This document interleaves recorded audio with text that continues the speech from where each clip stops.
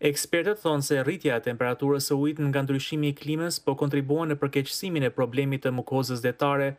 Doktor Berat Haznedaroglu, nga Instituti i Shkencave të Mjedisit në Universitetin Bogaziçi, thotë se kjo është një dukuri e natyrshme, por ndryshimi i klimës, duke përfshirë rritjen e temperaturës së ujit dhe rënien e erave, ka kontribuar në përhapjen e madhe të kësaj substance.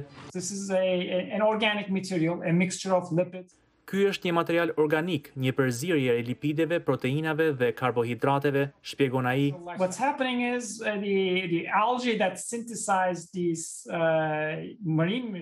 Ajo që po ndodh tani është se algat që sintetizojnë këtë mukozë detare janë rritur shumë dhe disa ngjarje për të ardhur keq, si rritjet e fundit të temperaturave, veçanërisht në nivelin e sipërfaqes së detit, kanë pakësuar erat. um decreases in uh, winds Përhapja e këtij viti ka qenë e jashtëzakonshme. The extent of the event goes above, I mean, reaches an environmental catastrophe. Përhapja këtë vit arrin nivelin e një katastrofe mjedisore.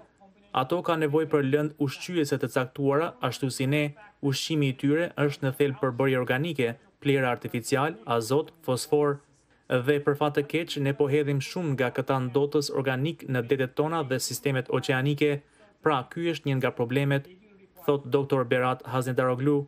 Shtresa e mukozës detare mund të shihet mbi ujë përgjatë brigjeve të Stambollit dhe provincave fqinje.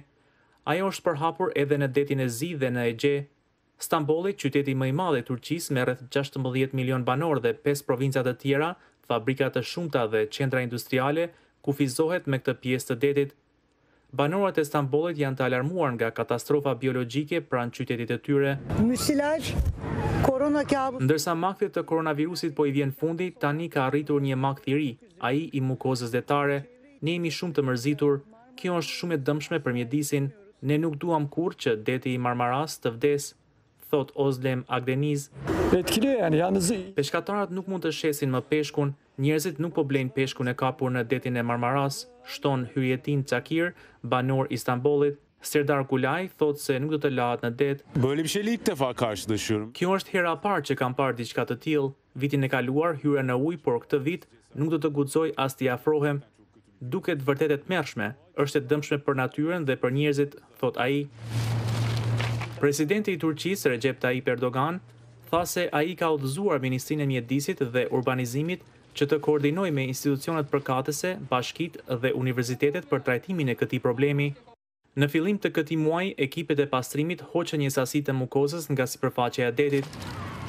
Kjo është një përpjekje e mirë, thotë doktor Berat Haznedaroglu, por mukoza që tashmë ka rënë në fund të detit do të marrë një kohë shumë më të gjatë për t'u pastruar natyrshëm.